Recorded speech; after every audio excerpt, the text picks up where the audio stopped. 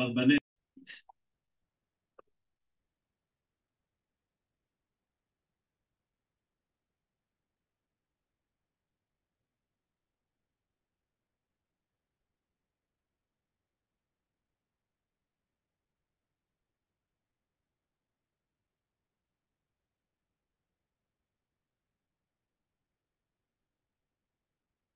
Good morning, everyone.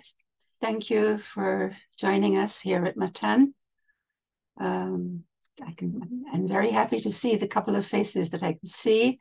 If I can put in a plea for you all to reveal yourselves, thank you, thank you. It really makes it much, much better when I can see a face um, and the face can see me and I can see myself being seen and so forth. Um, it, there is some sense of interaction. That, which is going to be important for our thinking today. Um, first of all, I want to dedicate uh, the shiur. It's dedicated by Joe Rich, uh, Nishmata of his mother, Ellen Rich, Etka Lea Bat Shraga Shachna.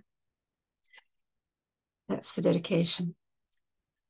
Um, as I emerge from a certain kind of silence into teaching, um, I just want to to share with you how difficult that is. It's very difficult to sit here um, trying to explain something, trying to some, in some way to address where we all are. We are in a shared tzara. We are all in, we're all together here. But in addition to being all together, we are all each separate. And there is an expression, a Talmudic expression, um, that the sages used that really applies to Noach to start with. It's applied to Noach and then to everyone else metaphorically. And that is the expression Charav alav olamo. His world was destroyed for him. That is, it was his own particular experience that the whole world was uh, destroyed. It's one thing to say that God destroyed the world. You can say that in three, four words. But what, what that means is that for a particular human being, what has been lost is a whole world. Everything. There's something very radical. And that became a kind of metaphoric expression that Chazal used for someone who has undergone radical radical disorientation, so that in a way there is nothing recognizable anymore, and it's very hard to speak. It's very hard to gather one's thoughts together because one is not in a thoughtful situation, not yet. And it's very hard, therefore, to gather thoughts that should be meaningful, that should be consoling. Um, I think by the very nature of what we have experienced and are still experiencing now, uh, there is a big gap between the reality and sitting before you now, sitting with you today, and trying to think and trying to speak, and trying to speak Divrei Torah. Divrei Torah is another world from the reality we're living in now. When you engage in Divrei Torah, then in a way that's a timeless occupation. You look at the Parsha, you look at the difficulties in it, you follow up different interpretations. There's a lot to say there. But the question that troubles me as I begin now is will what comes out as we speak Divrei Torah, will that in any way touch on our real reality? Will there be meeting points between what we study and where we are now? And there is no real way of knowing ahead of time you know. I don't plan these things in order to fit a certain need. That here we are going to learn and we're going to learn a parsha that turns out to be uncannily close to our situation.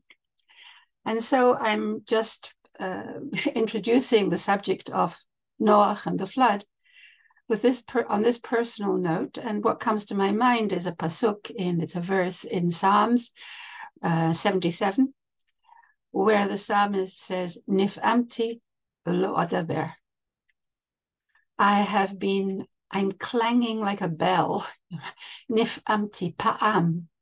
That is, I'm under under pulses of experience. There is I, am jolting with experience. There is this and there is that, and and, and I, am constantly in restless. I'm constantly confused on some level. I can't speak. Now, if the psalmist said that, and he says it many times, of course, in his psalms, because he is often in some kind of radical trouble. And that's the position from which he speaks. And the, the strange thing is that we look at psalms when we want comfort, when we want a way of expressing ourselves, when when there is something inexpressible about what is happening. We borrow his words, which are based on speechlessness. They're based on the experience of, I'm struck dumb on some level. I can't really master that. And so that's how I wanted to, to, to begin as well. If we move into the material of Parshat Noach, indeed, a whole world is destroyed. And it's God's decision to destroy the world. God, who has created the world, that was last week, that was just last week, no time at all, as it were, As now looks, he now looks at the world and he sees what, if you look at the end of last week's Parsha, um, chapter 6, uh, verse 8, verse, verse 5, I'm sorry, Vayar Hashem ki rabar ata adam ba'aretz. God saw. He looks at the reality of the world and he sees that great is the evil of human beings, ha'adam, of the human being on the earth. And all the thoughts of his heart are only evil all day long. Yakol, yakol yetzer, kol hayom. So there's a kind of total what God sees as total evil when he looks at the world. And we've seen a couple of narratives before this that give us a kind of sense of the kind of evil there is in the world, in which no one respects the otherness of anyone else, in which people trample into each other's worlds and take over, and there is violence and there is complete lack of the kind of respect that has, is necessary for a world. Vayinachem Hashem, and God changed his mind. He regretted. God has a moment of regret, which is a very strange verb to use about the omnipotent, omniscient God. You know, okay, is that a proper word for the Torah to use about God? He, he regrets that he created the human being on the earth everything that he did in Parshat Breshit, in creating the human being and situating him in the world, on the earth as an earthly human being, all that has turned out to be a complete loss. Vayit atsev el libo.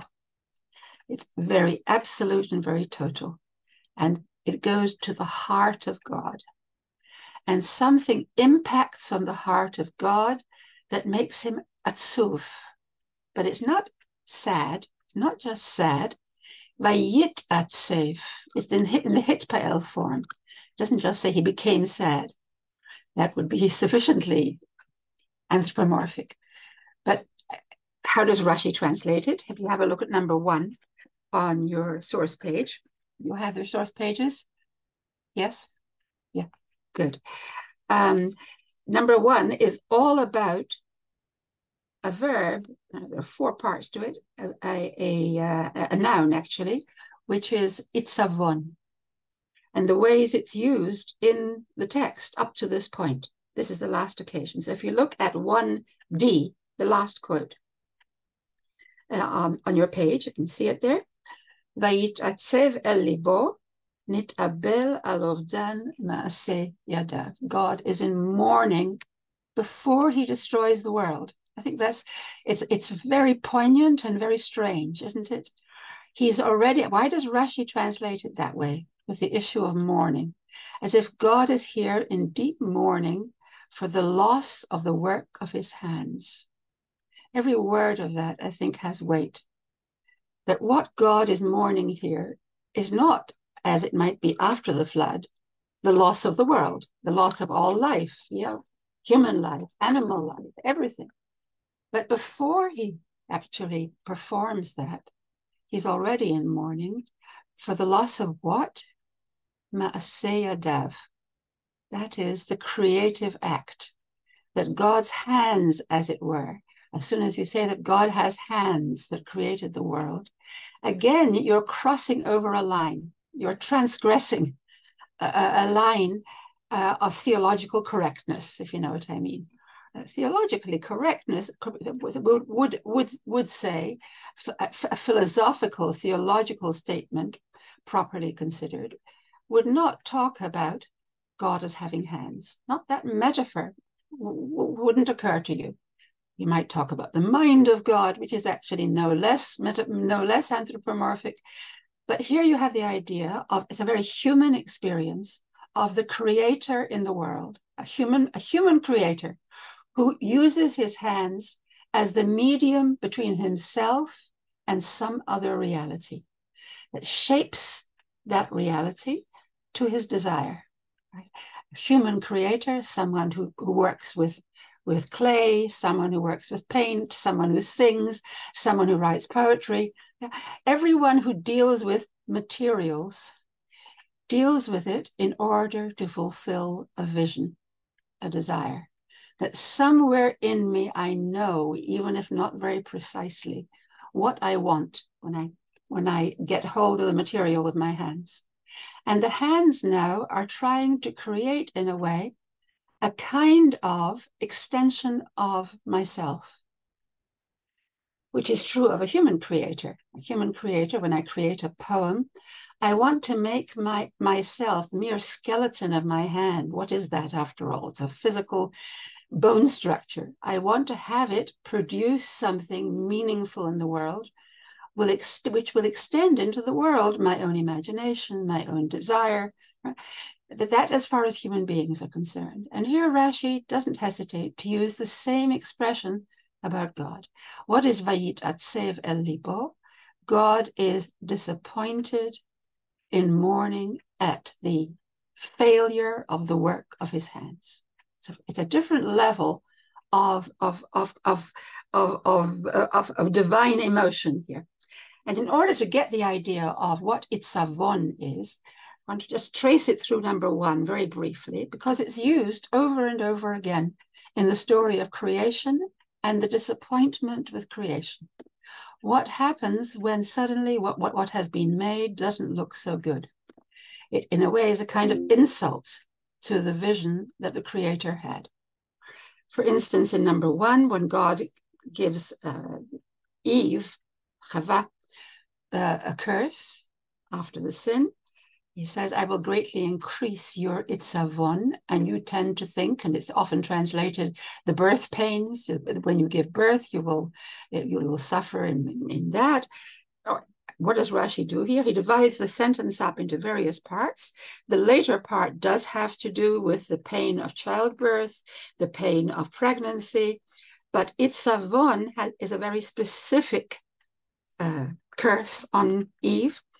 Zet Sa'ar Gidul Banim. Now that's a, an ominous generalization, which uh, the sages are not, uh, they don't hesitate to make use of. That is the pain of raising children. That is the sorrow of raising children, sa'ar. As if that's just as universal as the difficulties of pregnancy and the pain of childbirth. These are things that everyone knows, everyone recognizes. Everyone recognizes tsar gedul banim. That's a generality. What is that tsar? Not all children cause their, their parents so much pain, do they? And yet one has to admit that there is such a thing, that there was a vision when the child was born. There was a hope that was, was total. This is going to be the perfect child. He's going to be like me, but much, much better. He's going to be, be able to do different things from me in the world. And comes the real child. And then the parent has to come to terms with a certain level of well, I don't know what the word is exactly because, of course, uh, this varies enormously, but there's a certain distance, there's a gap between the vision and the product of the work. And that gap is, is itzavon, I want to say. And you can trace it, for instance, in the next passage, B, you shall eat of the grass of the field. That is the curse to Adam. Rashi asks, what's the curse in that? So you'll eat of the vegetation of the field. There are very good herbs. They can be prepared for, for eating. That's not a curse. Why would you say that's a curse? That's a bracha. Here I've given you all the vegetation of the field. Um, yeah, that's that's a, that's part of a blessing uh, later on, uh, before that. Ella, but what does it say here? It says, cursed be the ground because of you, for you. You will eat of its products. You will eat of the products and you will curse. You have a sense that the ground is cursed. Why is that? Because you have what comes up is thorns and thistles. When you have sown all kinds of good vegetables and pulse and all kinds of good food, and you expect the seeds to give you back from the ground, you, know, you put the seeds in the ground, you expect it to come back with what you ex- with the expectation of the seed, what what the seed should grow into, and that seemed a, a, a rational expectation, and suddenly something irrational happens. All you get is thorns and thistles, scrubby stuff, and that is a kind of insult to human creativity and human productivity and what the hand can do, what the hand expects to do in its contact with, with the earth. So, in the realm of agriculture, in the realm of childbearing, there is this itzavon built in. And in the third passage, Noach is born. Right? And here we go, we get later in the story, we're still in, in, in, uh, in chapter five now. Zeyinachamenu, his father says, his father says, this one will console us. Mima asenu ume itzvon yadenu. From our deeds, from our creativity, from the things we've made, and from the disappointment of our hands. It's yadenu, the frustration of our hands. And Rashi's comment on this is as until Noah came to the world, there were no plowing instruments. It's very specific in Rashi's translation here. There were no plowing instruments. He's drawing on a midrashic tradition here. And Noah is the one who will invent those implements, plowing implements. And in that sense, Noah is a real, he's a real breakthrough. He's a breakthrough child. The father somehow knows that this child is going to make life much easier for human beings. He's, he's going to be a revolutionary inventor. He's going to invent things, technologies which will make the cursed relation with the ground easier. He will relieve us. This is how Rashi then translates Zeyin Nachamenu. This one will console us. He doesn't want to translate it that way because then, if it's for Nachama, for consolation, then uh, he should be called Menachem, shouldn't he? That's uh, as Rashi says. But he's called Noach, which comes from it, it's a different root. And so he reads, Yenachamenu Yaniach Mimenu. This one will make the work of our hands easier for us. This one will relieve us of some of the tension and the difficulty and the failures that are involved in trying to put and us when we work in the world, when we are homo faber, we are creative men. We are we are a man who tries to make things right? Not just to think, but to make things in the world, to follow our thought. There is an inevitable disappointment built into that work from the time of Adam and Chava. And Noah is supposed to roll back some of that because he will he will develop his skills of the hands to create technology. It's the skill of the hands, the, the, uh, the technological skill, skill to overcome the weaknesses of the hand. Till that time, people had to plow the ground with their hands. And you can imagine that's very, that's very tiresome, laborious work. And now suddenly it'll be it'll be easier. He'll be uncursing the cursed world. He will have a, an ameliorative effect on the world. And that's what his father expects from him. He has some kind of prophecy. We don't know. There are different speculations. And who is born, what is what is born to his father is a ben. He's one of the few it was very, very rare to have a, a baby called a Ben before you give him give his name, a son. And Rashi says on that, a Ben shemimenu nivne ha'olam. Why was he called a Ben? Because he is the one who will rebuild the world. Now, these are all glimpses of the future. That before the flood, he developed technology to change the conditions, the basic conditions of work in the world. And after the after the flood, he would be the sole survivor, he and his family, from which a new world could be created. So there's something about Noah that takes a grim reality and begins to redeem it somewhat. Somewhat, a great deal, I don't know exactly. Um, I it's very nice to see all your names. Um, I, I, will put in another plea for those who weren't here yet at the beginning.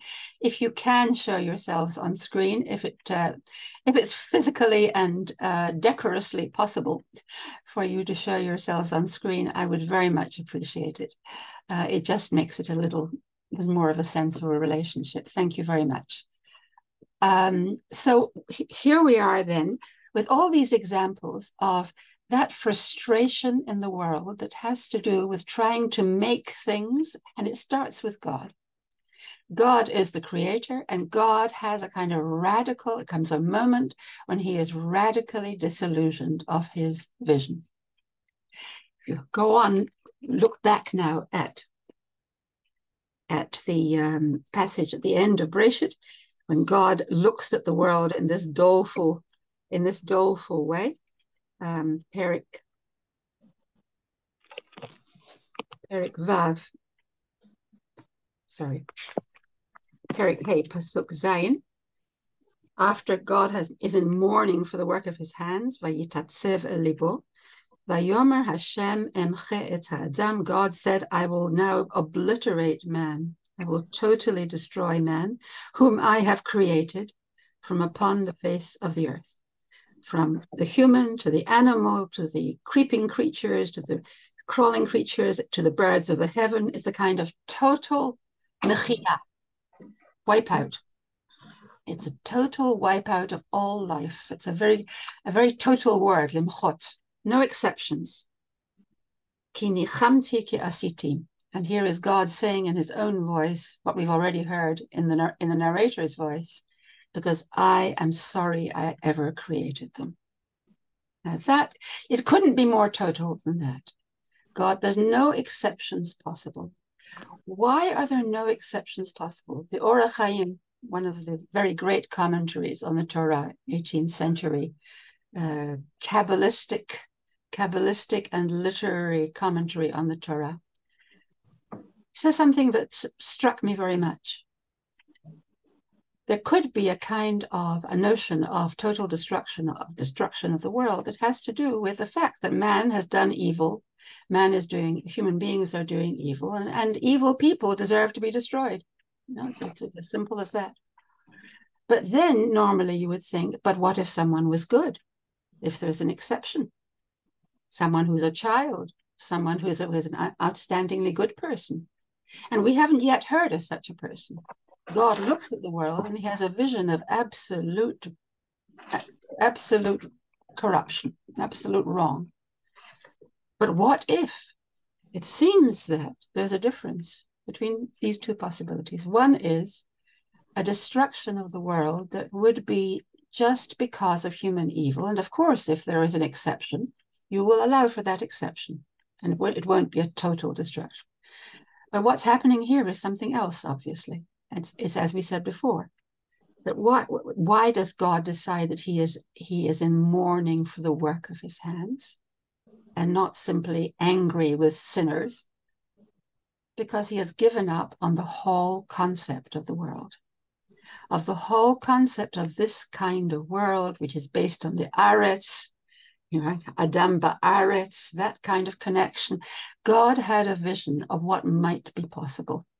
And if you follow midrashic, uh, this theme in midrashic literature, uh, some you can find a lot of it through Rashi. If you know Rashi well, you can really trace it. I'll just point to one, one or two moments. even before God's decision, this total summary decision, even before God had hesitations about the world. Lo yadun ruchi le'olam. My, I can't go on any longer. It's uh, if you want to find it in the text. Uh, I didn't. Uh, it's it's uh, chapter six, verse three, and God said, "Lo yadon ruchi ba'adam le'olam."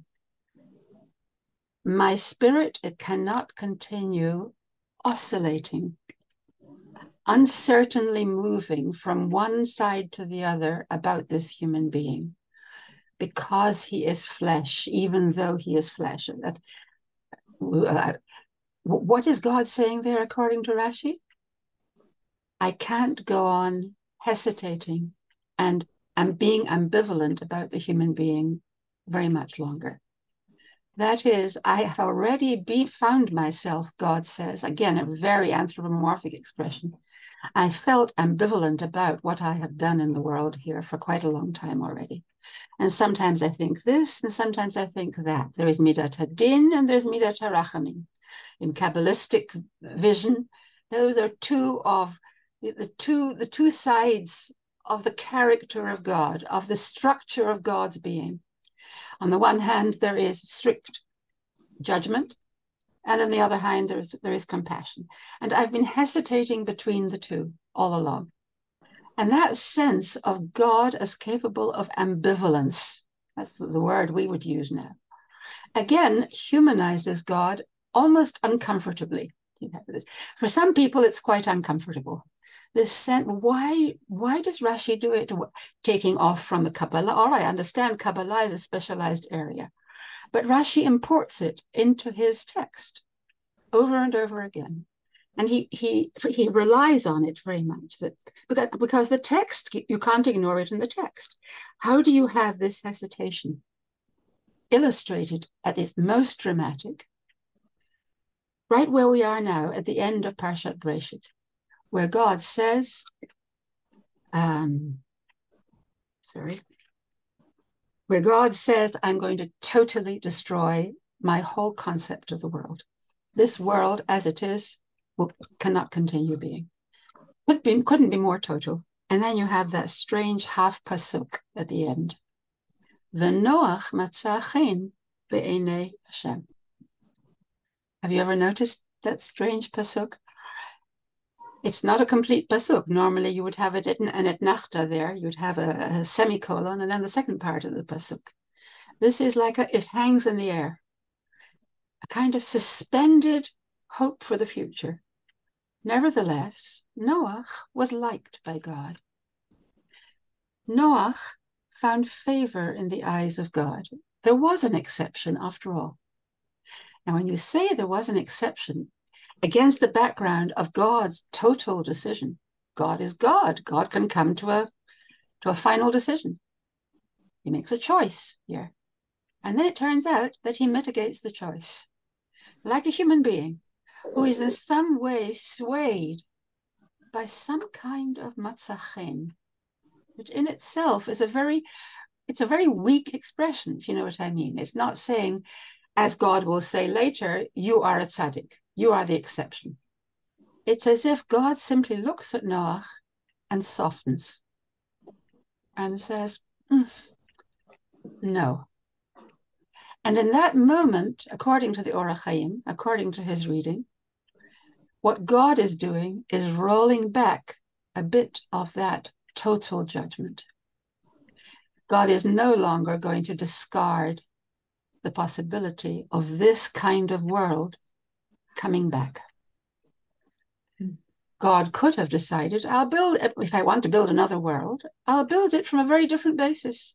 I'll find some other more reliable uh, basis for a different kind of world, you know, like a, like a creator, like someone who's written a great, what he hoped would be a great, uh, a great, uh, a great poem, and then basically gives up on it.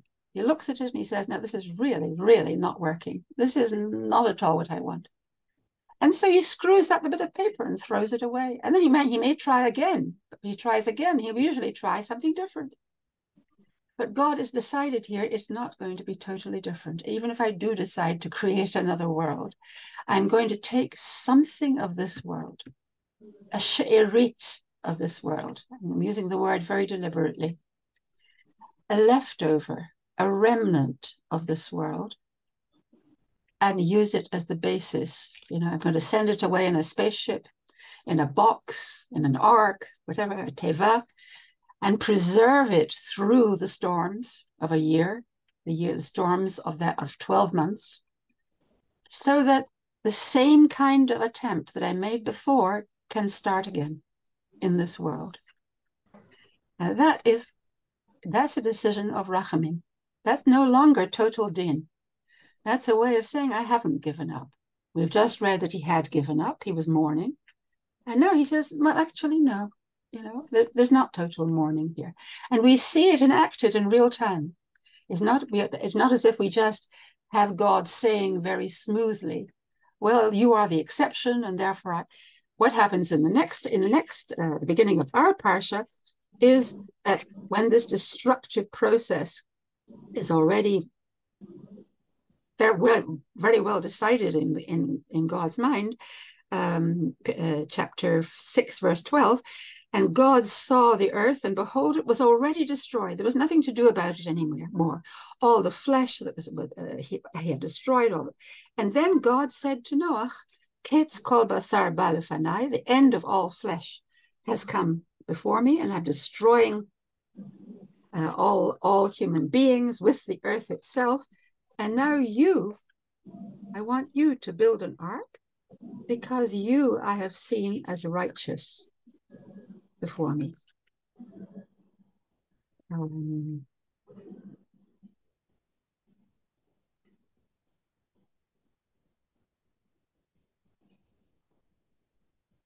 And so God says, Come you and your whole household into the ark, because you I have seen as righteous before me in this generation. Now, that qualification, it in a way flattens Noah's status. He is righteous, but he's righteous in his generation. That God looks at the generation and he says, I see that you are a sort of exception. And that turned up at the beginning of our parsha as well. That a great compliment to Noah, the Torah pays a great compliment to Noah, that he was an ish tzaddik tamim. He was a he was a perfectly righteous person. And no one gets called that, right? No one else in the whole Torah gets given such a large compliment. And so you, you want to believe that Noah was a very significant, he was tzaddik gamur. He was a really righteous person. And so for him, it was worth saving the world and keeping his, his spiritual genes to continue into a hopefully better version of a future world. But even, even in the Torah itself, you can hear the qualification on this big compliment. He was tzaddik tamim bedorotav in his generation. And as you know, perhaps Rashi will will interpret it in two possible ways. There are two possible interpretations of that. Either it makes him even more of a tzaddik. Does it make you even more of a tzaddik if you live in a in a wicked generation and you nevertheless manage to maintain the highest standards? That would the challenge is greater and therefore you get more credit. Or is it actually putting you down if you're called righteous in your generation. That in another generation, God wouldn't have been very impressed with you. But as against this generation, you look rather good. And that's a way of putting Noah down.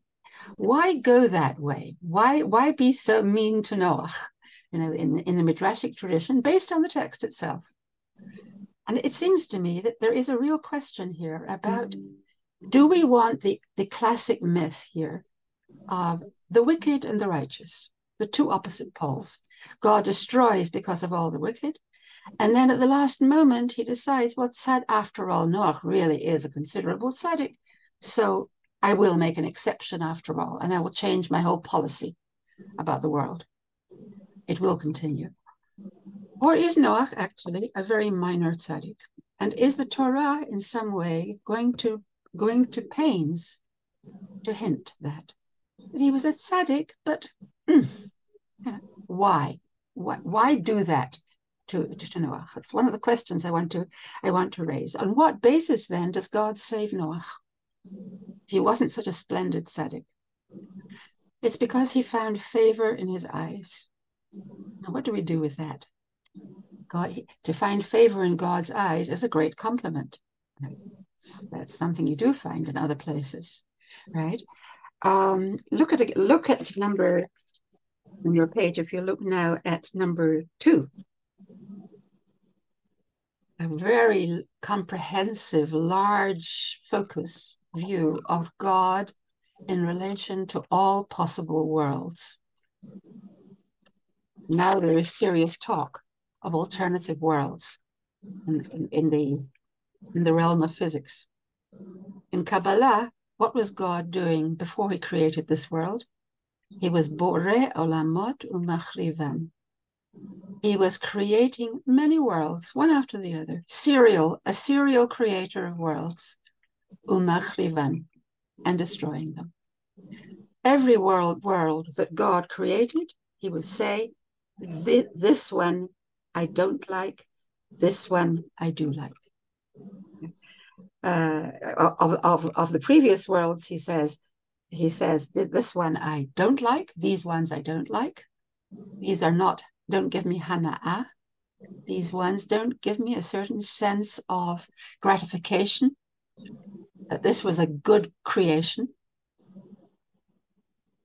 And when he created this world, our world, for the first time, he said, okay, you pass the quality regulation exams. Right? So, so this world got that kind of approval. But again, it's approval in terms of a kind of liking that God has. It's not simply, you might say, well, God saw that in this world there would be a lot of mitzvot would be done and and and, and human beings that would show remarkable qualities of character. Nothing specific. It's just God gives one look at it and he says, yes, yeah, this one will do. The way that a creator does oh, versus someone, yes, this feels right. And then the great disappointment. And then decide the decision to scrap this one too. And then Noach Matza Chen. God finds a remnant of this world. Why do I use that word remnant? Does anyone can anyone tell me from the from the text itself? In what sense was Noach a remnant of Olam Hazeh, of the previous version of Olam Hazeh. He wasn't necessarily a brilliant exception to that world. He was a remnant of that world. Oh, well, okay. Uh, uh, uh right uh, towards the end of the of the of the flood, we read Vayishaer Ach Noach. Everything was destroyed by water, and what remained was just Noach. Ach, Noach. With the strange overtones of ach, which means it somehow mitigates things. It says just Noach. You know, what that little fragment of a thing called Noach, which doesn't he doesn't really have there's nothing so splendid to write about him. But there he was, he was Noah. There were certain hopes and expectations around him. And what that was what was left over Vayishaer, She'erit, which is the word that's used by the prophets later on in describing all the sufferings and exiles and destructions of us, of our people, and the hope that's held out that there will always be a She'erit, She'erit Yisrael, a remnant. And I want to hold that in the back of my mind from now on, for our minds. The idea then that that's what Noach is supposed to be. And it doesn't mean a brilliant exception. It doesn't mean someone who's going to be a role model for the rest of the world.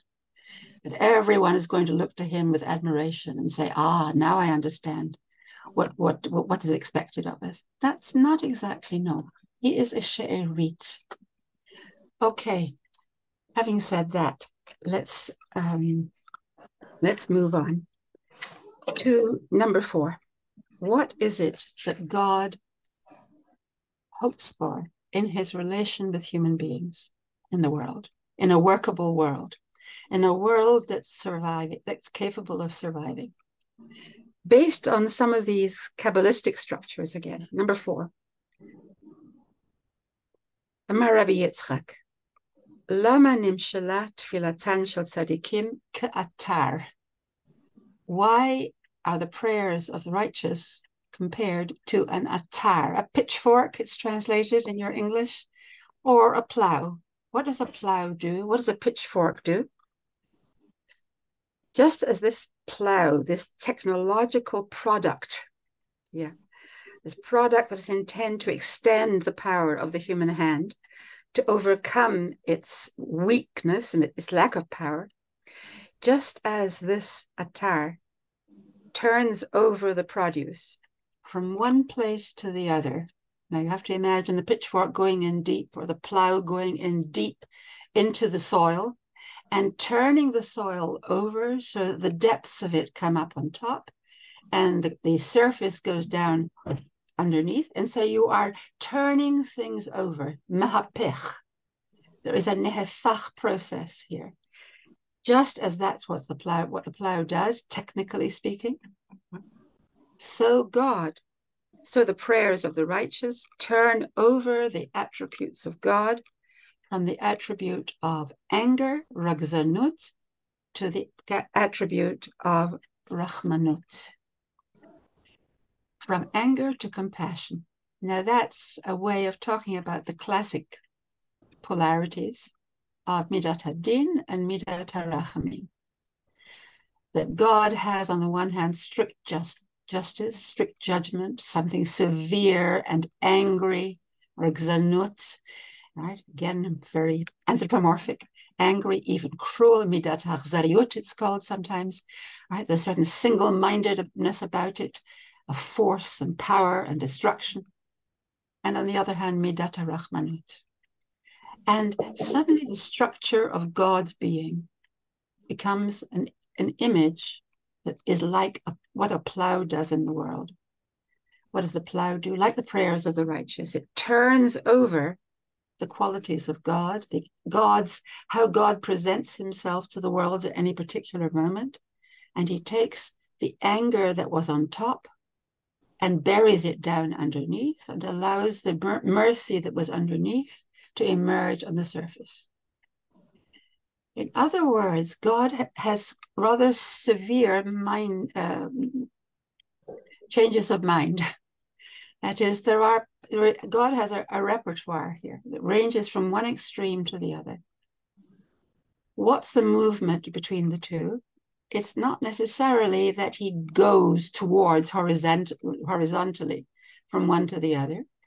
It's that the prayers of the righteous go in deep. They cut in deep into the soil and they bring up rich undersoil which covers the present surface, which is all crusty and rough and harsh. And that's the action of a plow. That's what a plow does. And that's what gets destroyed physically in the world. Three tfachim, three handbreadths down of soil get destroyed. And Rashi says that's the depth that the plow goes into the earth. So you have that sense there, there of the capacity of a human being to turn things over so that something good emerges on the surface and the dark things are in some way restrained. They're, they're, they're, they're, they're per, turn, turned around. And the prayers of the righteous have the power to do that to the divine structure, to the way that God is disposed uh, to, towards the world. Um, perhaps it may be helpful to notice that the Russian poet Joseph Mandelstam talks about poetry also as a plow. Prayer is a plow, and now Mandelstam comes, and I, I don't really think he knows that midrashic idea. And he says, poetry is a plow tearing open and turning over time. The, the poet has a longing for the words of the past, for words that no longer seem usable now. And yet the poet has a yearning for those, those quotations of the past that offered hope, that offered wholeness. And he, what the poet does is dig deep into language, and and I, I, I read, he turns over, tearing open and turning over time, so that the deep layers of it, its rich black undersoil, ends up on the surface. Mankind craves like a plowman for the virgin soil of time.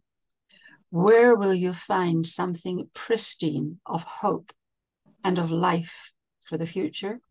By the action of the poet who knows how to draw things out of the past and understand them now differently, to bring them to the surface where they become usable.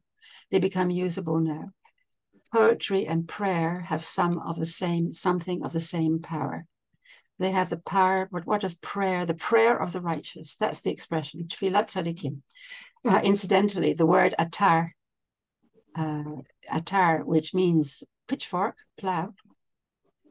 Why is that word used here? Because it's a play on words. It's a verbal play on the verb vayetar, vayetar yitzchak. Vayetar is to pray intensively, like a plow to pray with great intensity. And that movement, uh, which is found, it, it, it, that movement uh, is there in the ordinary word for to pray or to plead. It's not so common, but it does occur a few times in the Torah. Vayetar. It occurs about Yitzchak and then about Moshe with, with Paro. Um, and so what you have here is a kind of generalization then, that the power of the power oh. of the prayers of the righteous has something of that turning over effect, nefach. And so you have a strange paradox. You want to, to complicate things a little further. Number five. Before we close in on Noach. When you close in on Noach, what will it? Number five. Vayizkor Elokim. Notice something very strange, and Rashi points it out that when God is has decided to destroy the world, he is named by the name Hashem, Yud Ke Vav Ke, which usually represents compassion. Yes. Vayomer Hashem emche et adam. God said, I will destroy man. It's the, the name of, of compassion that's used as God decides to destroy man. Doesn't fit, it doesn't seem to work. And later, when God begins to have a, a, a, a, char- a hopeful and, and a loving uh, association with the future of the world, when the waters begin to abate, we read Vayizkor Elokim et Noach. God remembered Noach and all who were with him in the ark. Why Elokim? Why not say, after all, this is a movement of chesed. This is a movement of loving kindness on the part of God. Why use the harsh word, Elokim? And Rashi, if you look at number five, puts it like this. He says, This name is the name of Midat Hadin, of the attribute of, of harsh judgment.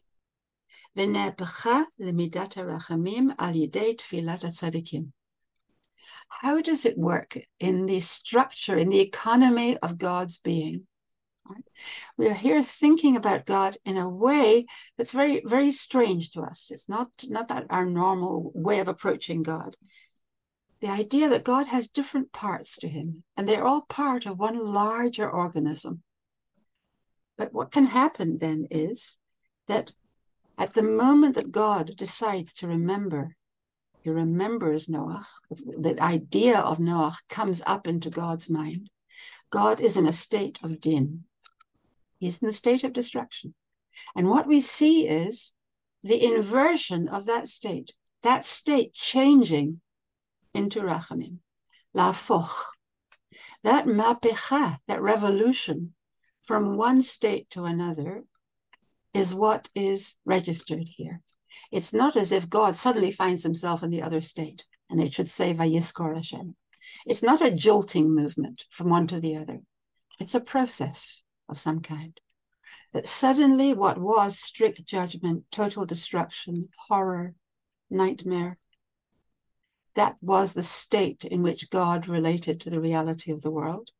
Suddenly, but not so suddenly actually, that there is a process that's initiated by the prayers of the righteous. They have an effect of turning things around.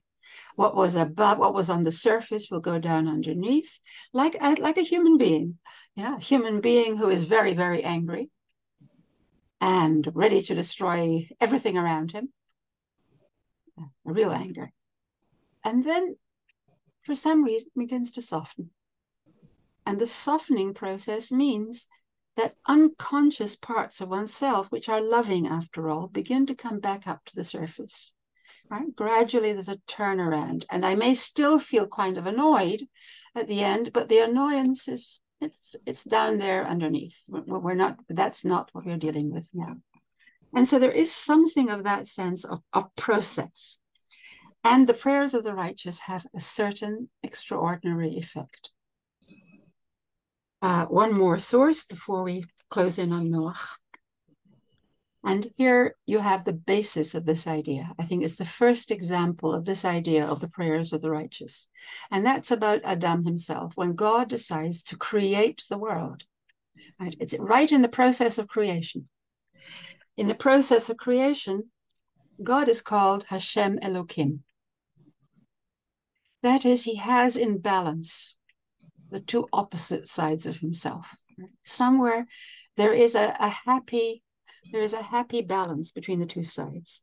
But look what happens. What do we have? Have a look at, if you have a Chumash in front of you, you can see the text, uh, the proof text in number, in Perek Bet Pasuk He, chapter 2, verse 5. The second story of creation. The day that God created earth and heaven, all the vegetation of the field had not yet appeared on the earth, and all the grass of the field had not yet sprouted, because God had not brought rain down upon the earth, and there was no human being to work the earth. Now, on the face of it, on the surface of it here, we have a rather strange set of statements here. What's the, what, what's the logic here? on a certain day, the day that God finished creating, the sixth day of creation, before man was created, where was the vegetation? The vegetation should have filled the whole earth because God had said already on the third day of creation, Totsei haaretz, tzemach and so forth, that the earth should bring forth its vegetation. And we read there that, of course, after God said it, that's what happened. God, every, everything obeyed, creation obeyed. Vayomer Vayehi.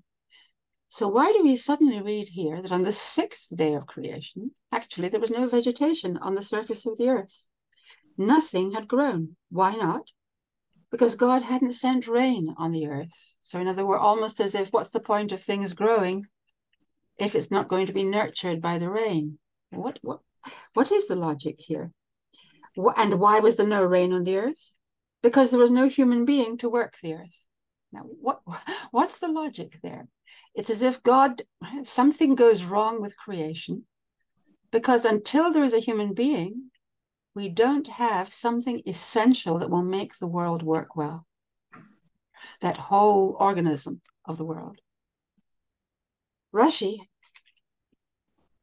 uh, on the basis of the Gemara in Chulin, says something very powerful here.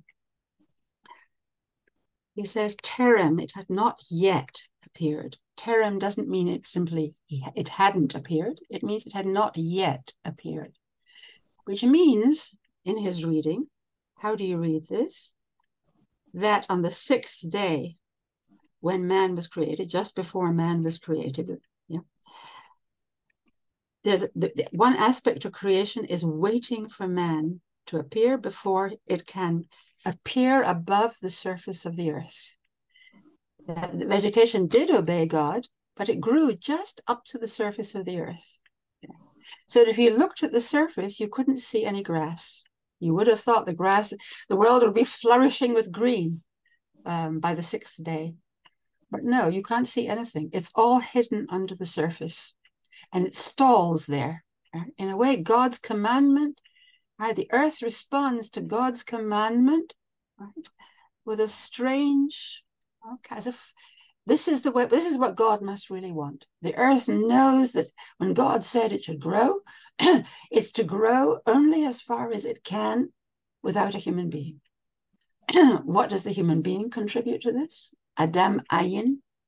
There is an absence of a human being. There is a nothing. There is a minus human being up to this point. What does what does the human being do according to Rashi? The human being is makir betovatan shel tzmachim.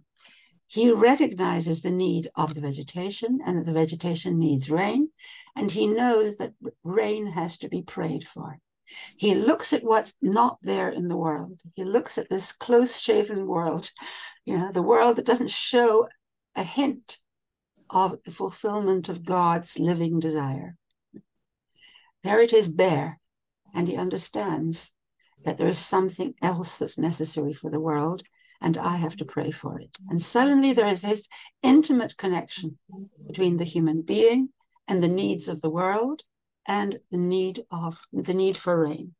And when he, once he has prayed for rain, then the rain falls and the vegetation grows, um, and and uh, and and the world can be said to be fully fully created. Now, this this kind of this kind of statement gives us a sense of the main function of Adam that what does a human being do in the world? What makes creation possible in the world is a human being who sees what is needed, what is not there, is aware of lack, who's aware of what is not there, and prays for it. That is, it talks to God, expresses his desire and his passion and his need to God.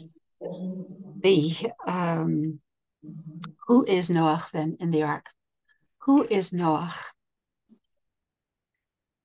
When he disappears from view into in the ark, he is someone who Midrash imagines as spending all his time, all his days and his nights feeding animals. After all, someone had to provide them with their meals exactly at the time that each animal likes to eat. So there is a sense somewhere in these uh, in in the, in the midrashic sources that Noach, that was his tzidkut. In a way, that's how you know what a what a tzaddik he was, because of his responsiveness to the needs of animal life. What was absent from the ark? Another midrashic understanding. There are no sexual relationships going on in the ark. And the thinking is that at a time of destruction, when God is destroying the world, you don't create you don't create new life aside from the issue simply of having relations, having sexual relations. No sexual relations, no children. All that, all that has been has been restricted, has been banned in the very expression bo el hateva. Come into that box. Come into you and your sons and your wife and her daughters, separating the sexes. That's the that's the midrashic understanding that coming into the box means, on the one hand, it means that the world will continue. There will be, in the end, there will be future generations of the same kind of world, but a better version of it. That there is hope for same there hope for the future. So there is a certain optimism there in coming into the ark. You are a remnant. But you are a remnant who has to live under very strained conditions, very particular conditions, not the the generating world out there, which went very wrong. There was a lot of a lot of uh, uh, there was a big mess in that world out there in which people were relating to one another in all kinds of perverse and outrageous and violent ways. And so what you have here is a kind of sterile box it's a box that's hmm. remaining frozen, as it were, for the future. But it does involve Noah in feeding animals, that he has to he has to maintain the life in this in, in this box. Have a look at the at the next middle from your page. Number seven. Kohelet says, we find in the book of Ecclesiastes, there is a time for everything under the sun, everything under the heavens. There's a time for everything. For instance, there was a time for Noah to go into the ark.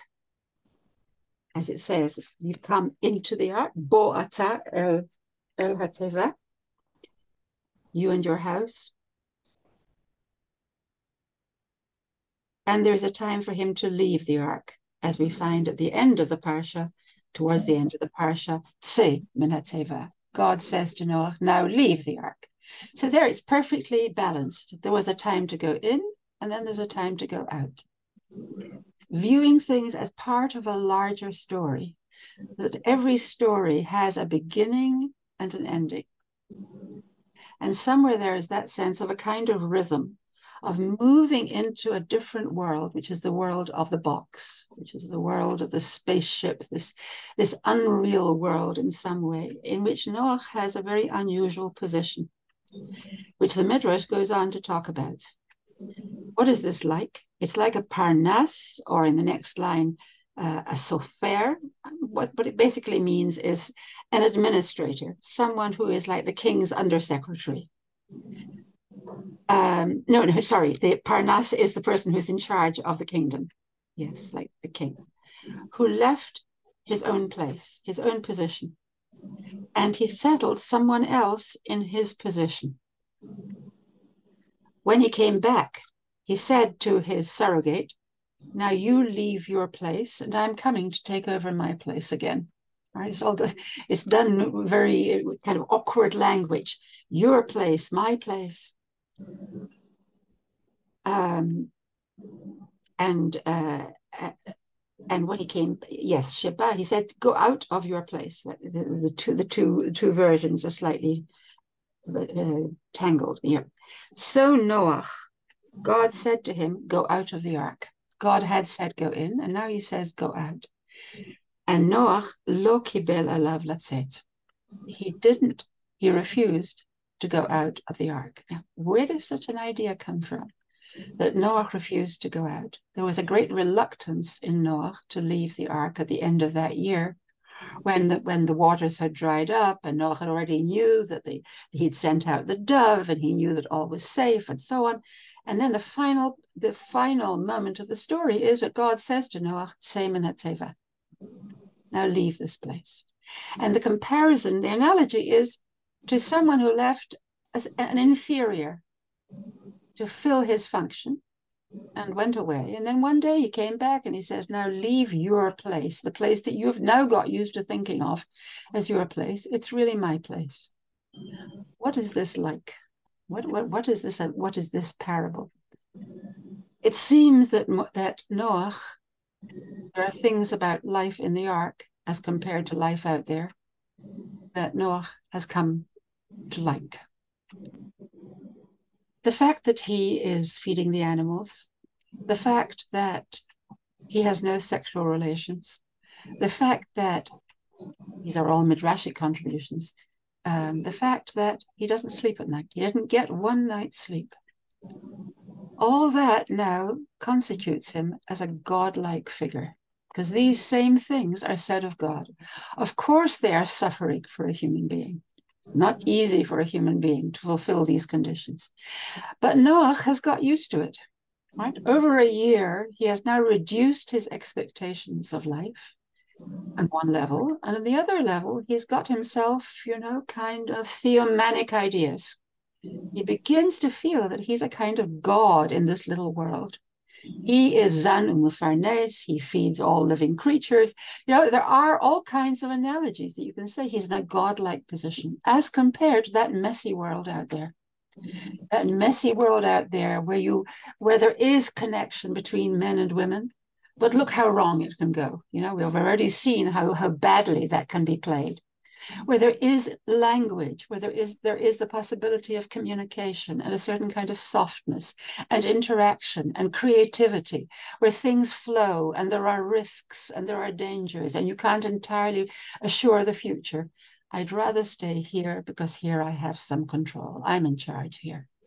And lo kibel alav latzet. Where does the Midrash get all this from? From that little word, bo and say. Bo doesn't just mean going to the ark, we said. It means no connect, no sexual relations with your wife. And therefore God says to Noah, you and your sons should go into the ark. That, that's the indication. But when God says go out of the ark, what he really means is now you reconnect with the female.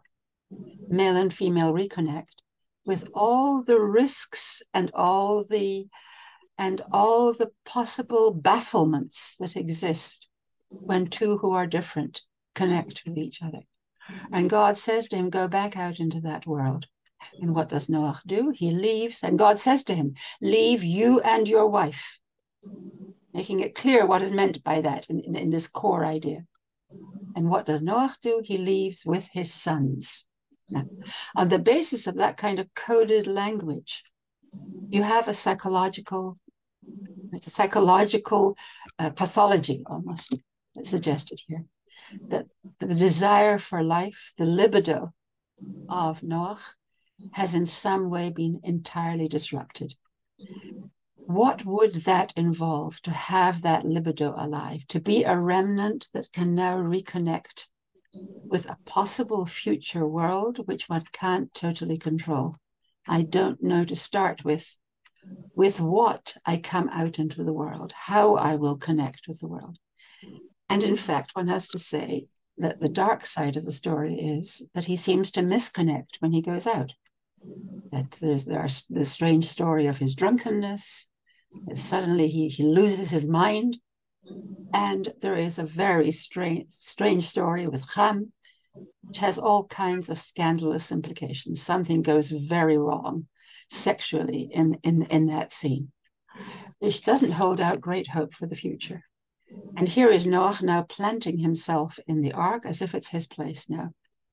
He's content to stay in the spaceship. I'm here I have some control. And God says to him, I want you to leave. I want you to leave here. What does God want of Noah? That's involved this idea of control.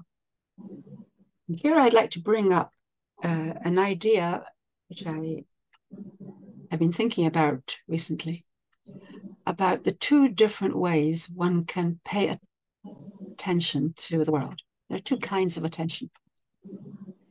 One way has to do with what's called, rather portentously, differentiation. That is, in order to have a creation, what God does is he differentiates between the sky and the earth, between the water and the sky. He places, he makes differences, vayavdel, in order to have separate things in the world. Separate things, all kinds of details, and each detail has to work according to its own rules. Right? A complex organism is composed of dif- differentiated things which are different from one another and which have to relate to one another through their difference. On the other hand, there is a de differentiated way of looking at the world where you kind of move back from noticing all the details. And I'm thinking now of an artist who moves back from looking at all the details of his painting. And even as he's beginning to paint, there is one detail here. What gives him the courage to keep painting? Some sense of a larger being, a larger entity that he can't totally control. And so there is a sense he can't focus entirely on the detail because he has to remain somewhere open to how this detail will now become part of, will generate a larger reality. And so you have a kind of, the way Anton Ehrenzweig puts it uh, in his book, The Hidden Order of Art, is um, he calls it an unfocused gaze. The artist looks at his work not with a precise sense of I know exactly where this is going to go, and then there's that detail and that. There's a kind of open, open, blank stare, he calls it, that blurs the idea of details and allows you to see complex things taking part place in a larger organism. How all that works together. How does Midat Hadin and Midat Harachamim relate to each how do they relate to each other? How do the different objects in the world or this is a kind of um, thought exercise um, can you see this? Can you see it? No? Not or too close I think it would be better further away because you also have the blur in the background. Yes. How is that? Do you see it? No. Mm. It's a profile here of a face. And then if you look at this, and this is the ground, this is just the background. But then you switch and you see that this is a profile of a face looking that way. And they are divided from one another, but they're not divided from one another. There's only one line dividing them. And you can see one profile and then you can see the other profile, but you have to kind of jump between the two of them, right? That's that is a kind of because we're bound in a kind of rigidity, and you can only see one detail at a time. See this, and there's that. What an artist can do, and you need it in order to draw this line, this one line, is the ability to to to back off. You said you don't without the blur, right? To, to back off and to see how one thing becomes the other as he's doing it. As he's drawing the line, as she's drawing the line, she can see the doubleness. She can see exact without having that jolt, that you know, that movement. There's a kind of it, it, there's a comprehensive sense of the movement of, of the hand. I know what I'm doing, and I know I'm creating two realities that, in a sense, can't live with each other, and yet they will live with each other. Now, that sense of things, that, that's, that sense of the work of the artist, has to do with an ability to be involved in the details of life, right? the artist in life, to be involved in the details as if they are everything, and yet somewhere with all the sense, and here I do think of our contemporary reality, with all the sense of the total reality of all these details, somewhere to still be open to the possibility of a larger picture. How can one do those two things at the same time? In a way, it's an impossibility. When it comes to Noach, Noach has decided to narrow his world to the world of the Teva. Here he's in charge. And God says to him, Say, Minateva, come out into that mess of a world. Come out there. And what I need from you, actually, what God needs from Noah, is something that Noah actually is not seen to do at all. What God needs from him is, as we have said before, tfilat tzaddikim. If Noah is a proper tzaddik, then what is needed in order to bring this flood to an end is his prayer. And Noah has no prayer to offer. In this whole story, we don't see him in any sense in dialogue with God. We don't see him speaking at all. He's completely silent throughout the whole story till the very end when he curses and blesses among his children. What God wants of him in order to save the world is something that he seems absolutely to have refused. There's something, there's nothing of, of that that he can do. What is required in that kind of prayer? Number number eight. And then God spoke to Noah, saying, hateva. We're going back, back to that expression. Go out of the ark. Lehodot. A quotation from Tehillim. Yes. Tehillim Kuf Bet, 142, verse 8. Release, bring out my soul, my being from prison in order to give thanks to your name, says the psalmist. That is, Midrash is taking that verse from Psalms and bringing it to the surface of the story of Noah.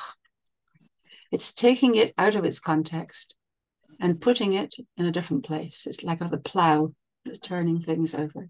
It's taking that verse and it's saying, Noah davened. Noah did pray. Did pray. Even I'm hearing an echo. Are you hearing it? No, it's fine now. No, it's fine now. You don't hear it? Okay, good. Uh, I'll have to tolerate it. Um, what the Midrash is suggesting is that in spite of the evidence of the surface of the text, that Noah doesn't pray because he doesn't really want to leave. There's a great reluctance in him.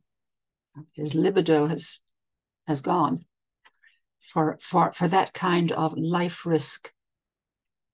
There is something in him that nevertheless does pray.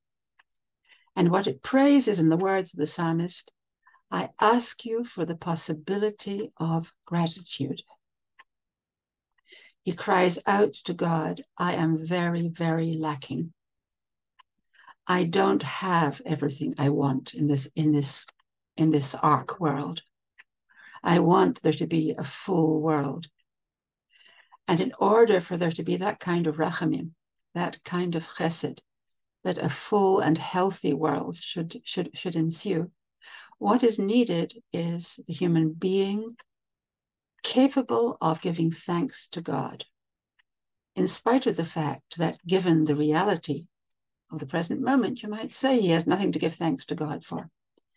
So, what he's asking for is the possibility of gratitude, the possibility of seeing things in such a way as to be able to give thanks to your name. And that when the tzaddikim of the future when they crown you, O God, they'll crown you through me because of me. It's a complex sentence from Psalms. Ki tigmol alai, because you will have rendered goodness to me. That is, I speak from a situation in which I recognize that this is a very, a very um, cropped life. This is a life that can't continue to be. And I want a larger, more comprehensive vision of you and your goodness to me and who am I after all. It's true that in the verse in Psalms, it seems as if what's being said is that Noah says, but all future tzaddikim will come from me. So all their praise of you will, in a sense, go back to me. So please let me out of here so so that I can have that generative role for the future. Or there is a, a less rosy uh, reading, which is that Noach is saying there will be these future tzaddikim, but they will all come from me, and I know I'm not a perfect tzaddik. I know I am very a very imperfect person, and therefore I can barely bring out this prayer and I can it's very difficult for me in any way to glimpse what I basically want, what I what I, what I really want. And so that when God says go out of the ark, he's responding to that quiet prayer, to that almost impossible prayer of, of Noah. That Noah is hoping, some part of him is hoping for the possibility of gratitude, of a return to a world in which one can sense God's goodness, in which one senses the whole picture, that the whole picture is not only what we are going through now, although what we are going through now feels quite total, feels as if it's it, it, it's it's the whole story. Ki tigmol alai. When we bless, when we make we make the bracha, birkat gomel, we talk about God. Hagomel lachayavim tovot who does God deal out goodness to? To those who are lacking, chayavim, who are not complete and whole in themselves. Perhaps the only way to pray to God, the only kind of prayer that Noah can bring out in his lips in such a situation is a prayer of unwholeness, that I'm incapable of focusing for a moment on anything.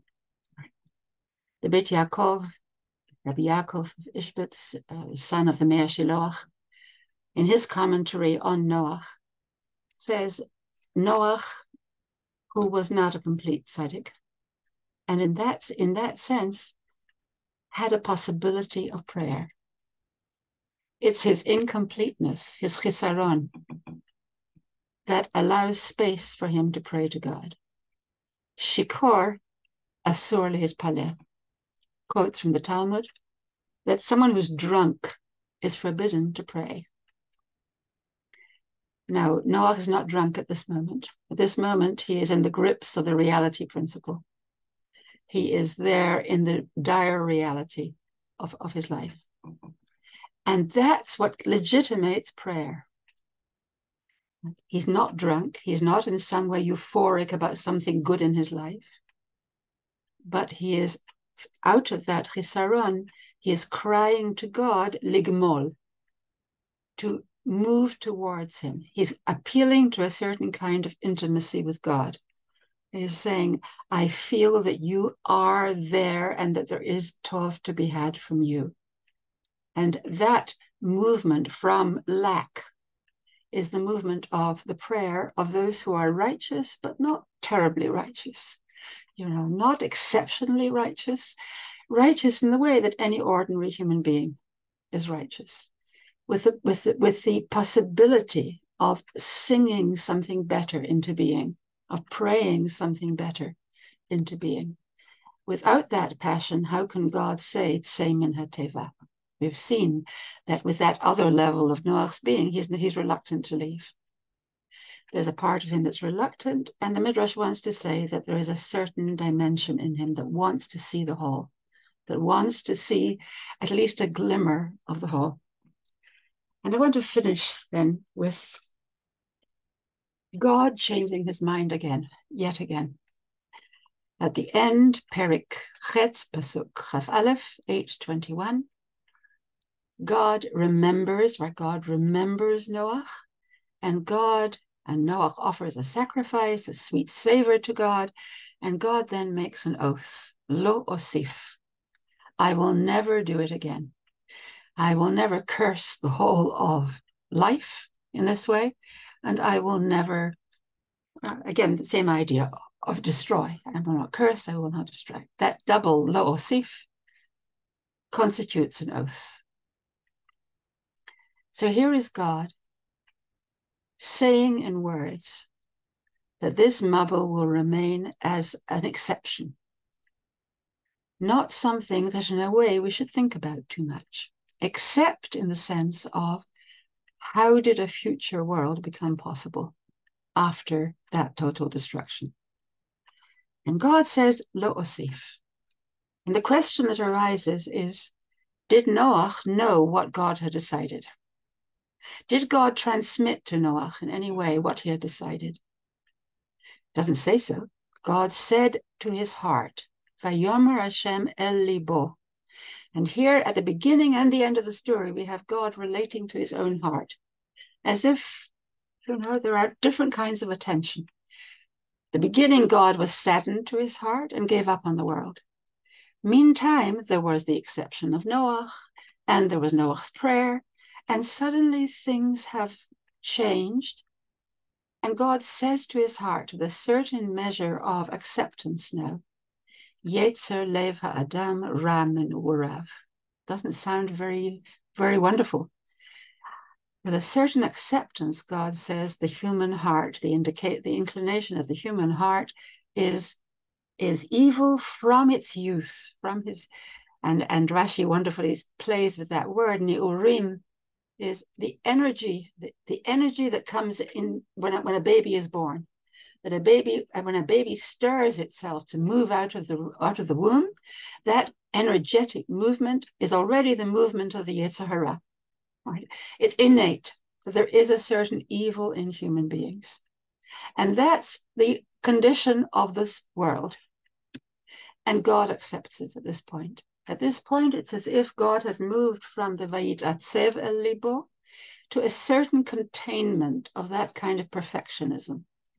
And God says, No, I'm never going to. And here, the Mei HaShiloach on your page here, God and his son, the Beit Yaakov, carry on this idea. And they say, God decides it's not right. Lehit pashet, to fulfill my own angers in this total way. Just as it's not right for human beings to go all the way with their desires, which they were doing in the world before the flood, God comes to a kind of parallel decision himself. Lo osif, I'm no longer that kind of radical total anger will never will, ne- will never be expressed again. Does Noach know about this? The Beit Yaakov, I didn't put it on your page, but we'll finish with this and with Rosenzweig. Um, Beit Yaakov says something like this.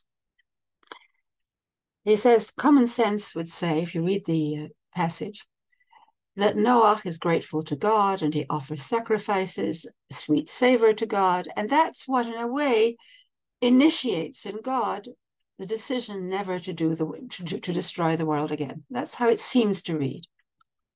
And the Beit Yaakov says in his very radical way, he's a very radical mystic. And he says, no, it's exactly the other way around. It's that God in, is the root of all being. Everything begins with God. Every human action begins with God. God decides in his mind, in his mind, never again. God suddenly, there is a change and he has a ratzon, the will, the desire of God becomes a will for life, becomes a will for kiyum ha'olam, that the world should continue existing. And that's a kind of comprehensive view of things. Human beings sense something of that ratzon. When human beings are able to come to a sense of restraint, self restraint, and desire for the continued life of the world, they are drawing on a certain root of their being. There's a certain intimate eh, connection that they, we have with God. And it's God whom in the end is the he is the he is the he is the, at the center of the story we have suffered and god has suffered too and now there comes a kind of movement in god which has to do with life and a movement in the remnant of the previous world something now will change have a look at rosenzweig we'll finish with that number 10, number 11. His great book, The Star of Redemption, right at the end, we find this passage. He says, all other religions, all other uh, cultures look to expand themselves. They look to become more and more. Judaism and it alone in all the world maintains itself by subtraction by contraction, by the formation of ever new remnants. In Judaism, man is always somehow a survivor. Everyone is a survivor in Judaism. An inner something whose exterior was seized by the current of the world and carried off, while he himself, what is left of him, remains standing on the shore something in him is waiting. And what is extraordinary about this is Rosenzweig's emphasis on Judaism as having always to do with remnants. We are always remnants, She'erit Yisrael. We are remnants of the past, and every generation, in a sense, has that has that status. What is it to be a remnant? It's to be somehow a survivor, Look how, how, how deliberately weak his expressions are. Somehow there's a vagueness. There is that blank stare, that, that look at a reality that you can't focus on too analytically and too clearly. There is something going on here. Man is always somehow a survivor, an inner something, undefined. There's no name for it all the exterior parts were taken away by the movement of the world, the movement of time. They were stripped off, they were husks. What is left is something essential. It's not just a part of the whole, it's the essence of the whole. Something, and it's so it's it's a spark of the whole. And it remains something within him is waiting. That is, the Jewish human being Rosenzweig says, has something and waits for something. There is something in him and her, which can't be defined, which has to do with a kind of being a remnant of the past and waiting for the future. A remnant of the past where there was revelation, and a remnant for the future, and uh, uh, waiting for the future, which will be salvation. And somewhere there is that attunement by this something, somehow, with the God who is the source of both past and future. And there's an attunement there that allows one to rise above the husks. And that involves a kind of contraction. It's a tzimtzum, of moving back down into oneself rather than out expansively into the world. And that ultimately that is Jewish creativity. That Jewish creativity has to do with connecting with what can't be concretely and analytically defined, that's something that is very alive and very capable of moving into a world of change.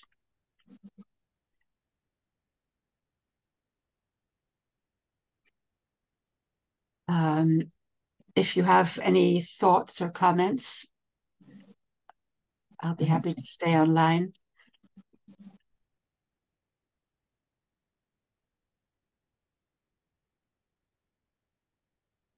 Thank you. It was fascinating. Thank you. Thank you. Thank you. Very nice. Thank you. Any, Thank you very much. thoughts or questions? I, am I'm, I'm. It's not a, a rhetorical question. I'll, I'll give you a few seconds. You've you've given us the uh, hope from the despair we all feel. Um, the story of Noah and um, Hashem promising never to send a flood again. And um, I think that we all feel hope. You know, we want to look for tikva, but it's it's very hard to see. It's all muffled right now. But we we we hope that these husks that you talk about can um, somehow uh, disappear in a in a better better future. Thank you so much. Thank you all. Thank you Thank very you. much for being Thank with you. Thank you, Avivah. Thank you. May, may we have good may we have good news. Amen. Amen. Bye.